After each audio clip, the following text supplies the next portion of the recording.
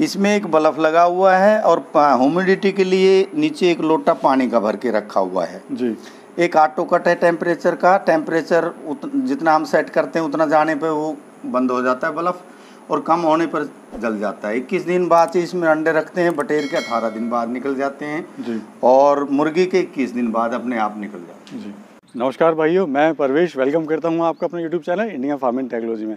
भाइयों आज की वीडियो बड़ी शानदार है, क्योंकि आज मैं आपको ऐसे मॉडल के बारे में बताऊँगा, जहाँ पर कम से कम 12 से 13 तरह की वैरायटी हैं। इसमें बत्तख हैं, मुर्गे हैं, बकरियाँ हैं, गाय हैं, मछलियाँ हैं। साथ में सर ने फ्रूट्स भी लगाए हुए हैं।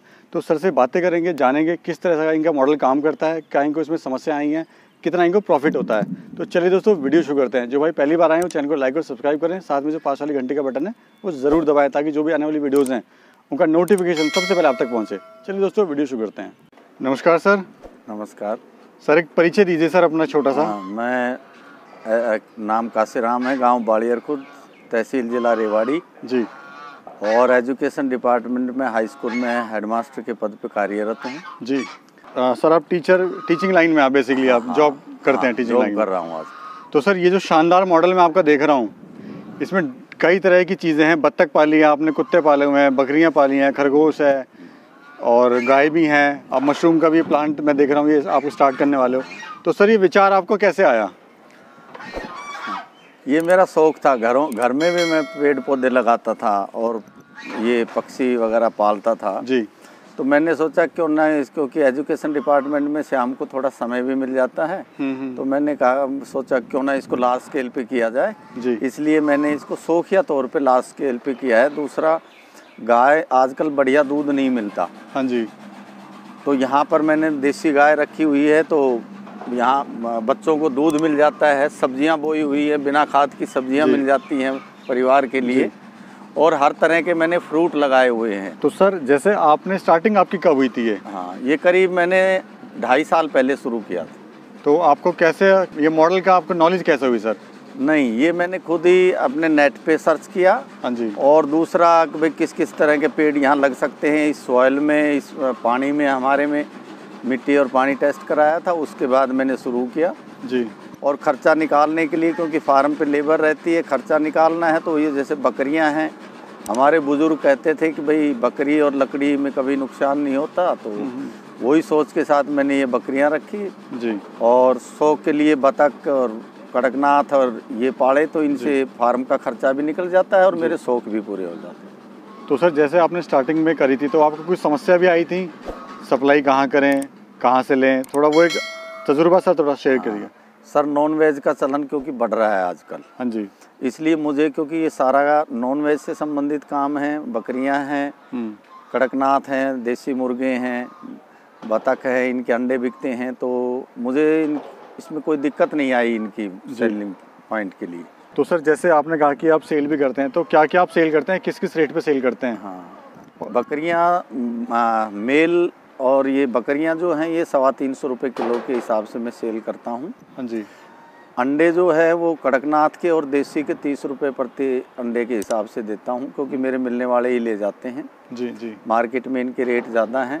हम्म, और सब्ज़ियाँ वगैरह जो हैं वो मैं अपने मिलने वालों को देता हूँ। वो मैं सेल नहीं करता। मतलब सारा आपके फार्म से ही उठ जाता है? हाँ यहीं के यहीं से चला जाता है। जी जी।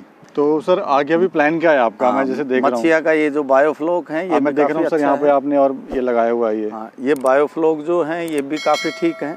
हाँ जी। इसमें ये लगभग टाइम तो लेता है इसमें। टाइम तो आठ नौ महीने लग जाते हैं बाकी इसमें अच्छा है काफ़ी अच्छा है। मार्जिन ठीक निकल जाता है इसमें। तो सर एक सिस्टम भी मैं देख रहा हूँ आपने ये सिस्टम लगाया हुआ है जो बिना मोटर के इसमें पानी जाता है। हाँ। वो थोड़ा सर एक बार बताइए ज़रा। देखिए भाइयों ये सर का एक बहुत बेहतरीन सिस्टम है जो कि बिना मोटर बिना बिजली के चलता है और निरंतर ये पानी सप्लाई होता है। सर बताएँ थोड़ा इसके बारे में। इसमें क्योंकि टैंक के अंदर प्रेशर जा, अ, पानी ज़्यादा है और इस टैंक के बीच से एक पाइप दबा के मैं इसको इधर ले आया और यहाँ पर इसका साइज़ छोटा है आगे जाके इसको और छोटा कर लिया तो क्योंकि वहाँ प्रेशर ज़्यादा है टैंक में तो पानी का कुछ ऊंचाई तक आ गया यहाँ तक। उसके बाद मैंने इसमें ये इसके द्वारा एयर दे दी जिससे ये पानी उठ के और वापस इसी में चला गया। और ये 24 घंटे अपने आप पानी रोटेट होता रहता है जिससे कि इसके अंदर जो गैसें बनती हैं वो निकल जाती हैं। निकलती रहती हैं। हाँ। ये बेल्जियम सेफर्ड है। हाँ सर थोड़ा बताएँ इसके बारे में ये क्या है बेल्जियम सेफर्ड हैं। हाँ जी। ये अम, ज़्यादातर कुत्ते अमेरिकन पुलिस में ही हैं। ये रोटवेलर हैं। ये गार्ड डॉग हैं। जी। रात को मैं इनको खोल देता हूँ फिर मैं निश्चिंत होकर सो जाता हूँ। कोई चिंता नहीं रहती किसी को अंदर नहीं घुसने देते। ये मेल है वो फीमेल है। तो सर प्राइस क्या है इनका? एक्चुअली मैं जब ये छोटे थे अट्ठाईस दिन के जब पच्चीस पच्चीस हज़ार के लेके आया था। पचास हज़ार के दोनों लाए थे? पचास हज़ार के दोनों लाया कहाँ से लाए थे सर? ये सुलखा में एक फार्म है डॉग फार्म वहाँ से लेके आया था। सुलखा गाँव है रेवाड़ी डिस्ट्रिक्ट में। जी। वहाँ से लेके आया नो, नो। और दूसरा मैं कोई जितने भी ये फलों के पेड़ हैं या सब्ज़ियाँ हैं मैं इनमें कोई केमिकल या खाद इस्तेमाल नहीं करता हूँ। अच्छा ये अफ्रीकन है। तो सर इसका विचार आपको ये डिज़ाइन जो आपने बनाया है कैसे विचार सर इसका आया ये मैं फरे में रिसर्च सेंटर है goat Farah goat research center है फरे में मथुरा से 25 किलोमीटर आगे। मैं वहाँ गया था एक डॉक्टर साहब थे तो उन्होंने मुझे सुझाव दिया था कि इस तरह का बनाना है इसमें गिल्ला नहीं रहता। जी। ये अफ्रीकन हैं अफ्रीकन नस्ल हैं ये। हाँ जी। बोर गोट कहते हैं इनको। ये मेल है ये फीमेल है। ये क्या रेट की पड़ती ये एक्चुअली ना मैंने कर्नाटक से पचपन पचपन हज़ार के दो बच्चे मंगाए थे। हाँ जी। ये पहली बार ब्याई थी इसने एक बच्चा दिया है वो पर वो जो है। अच्छा। तो सर ये डिज़ाइन में देख रहा हूँ इसका क्या फ़ायदा है जो डिज़ाइन फर्श इससे जो वेस्ट है पेशाब है वो नीचे निकल जाता है। ये सूखा रहता है फार्म? वो और ये सूखा रहता है और बकरियों में ज़्यादातर बीमारी गिल्लेपन के कारण आती है। हाँ जी। तो इसलिए कभी भी ये बकरियाँ मुझे बीमारी की दिक्कत नहीं आई। तो क्या एरिया है कितना खर्चा सर इस पे आया ये बीस बाई अस्सी का है इसके मैंने चार पार्ट्स कर रखे हैं परली तरफ़ ये बरबरी हैं। हाँ जी। और इसमें लगभग मेरा पाँच एक लाख का खर्चा आया था इसको टोटल बनाने में? टोटल बनाने। अच्छा। तो सर इससे आमदनी कितनी हो जाती है? कितनी इसमें टोटल कितने बकरियाँ हैं इसमें? इसमें सवा सौ के करीब बकरियाँ आ सकती है। हाँ जी। फ़िलहाल तो ये मैंने सेल कर दी अब कम ही है। अब ये सारी ब्याएँगी तो ये फिर बढ़ जाएँगी अपने आप। पीछे ये खाद का है इनका वेस्ट 10-15 दिन में निकाल के इन गड्ढों में भर देता हूँ पानी छिड़क देता हूँ डिकम्पोजर डाल देता हूँ इसका बढ़िया खाद बन जाता। है तो ये भी बिक जाता है सर? ये चार रुपये किलो बिकता है लेकिन मैं तो अपने खेतों में इन पौधों में ज़्यादा इस्तेमाल करता हूँ। सर ये मैं देख रहा हूँ नीचे इसमें बत्तख भी हैं सर। हाँ ये जो छोटी बतख है ये अंडे देती हैं। हाँ जी। इनका जो अंडा है वो मुर्गी से भी ज़्यादा टेस्टी होता है। तो सर इससे कैसे किसान भाई फ़ायदा उठा सकते हैं? नहीं अगर इनको लार्ज स्केल पे पालें हाँ तो अंडे से हम फ़ायदा ले सकते हैं अंडे बहुत सेल हो जाते हैं। जी। और क्या रेट का सेल होते हैं सर हैं? क्या रेट का सेल होता है? तीस रुपए का एक अंडा। तीस रुपए का एक घंटा हाँ। फार्म से बिक जाता है? फार्म से बिक जाता है और बल्कि अंडों की तो पूर्ति भी नहीं हो पाती। जी। मैंने एक मशीन बनाई हुई है बच्चे निकालने की उसकी कॉस्टिंग सिर्फ़ हज़ार रुपये ही आती है। जी। और हज़ार रुपये में ये हैचरी बनाई हुई है। आइए सर देखना चाहेंगे हाँ मैं उसको दिखाऊँगा आप लोगों को।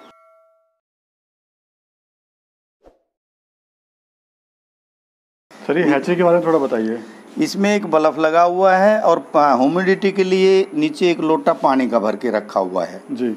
एक ऑटो कट है टेम्परेचर का टेम्परेचर जितना हम सेट करते हैं उतना जाने पे वो बंद हो जाता है बल्ब और कम होने पर जल जाता है। इक्कीस दिन बाद से इसमें अंडे रखते हैं बटेर के अठारह दिन बाद निकल जाते हैं जी। और मुर्गी के इक्कीस दिन बाद अपने आप निकल जाते हैं। जी।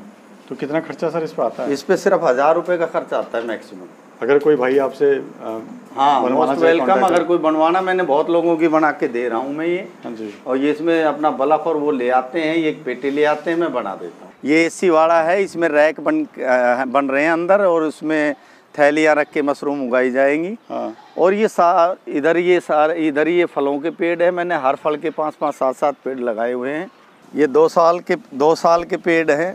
मौसमी का है और अब इसमें मौसमियाँ लगी हैं क्योंकि दो साल से पहले हम फल नहीं लेते हैं। अब दो साल के हो गए तो इनमें फल ले रहे हैं।